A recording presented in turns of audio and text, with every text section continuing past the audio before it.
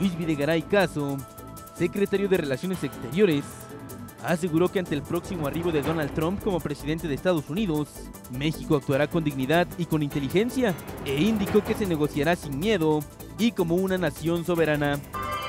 Personal de la Secretaría de Seguridad Pública de Guanajuato logró la captura de Jorge C., alias El Mecánico, identificado por las autoridades estatales y federales como presunto jefe de plaza del grupo delictivo, conocido como los Viagras en ese estado.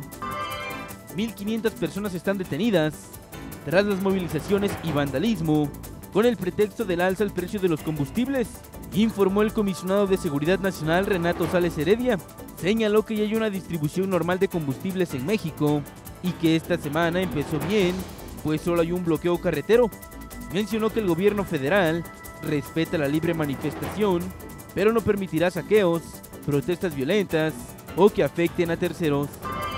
El 55% de las 1.500 personas que fueron detenidas por saqueo y vandalismo en distintos puntos del país ya fueron enviadas a prisión, informó la Secretaría de Gobernación. De acuerdo con las autoridades, la mayoría de estas personas quedaron sujetas a un proceso penal y 452 fueron recluidas por la comisión de diversos delitos.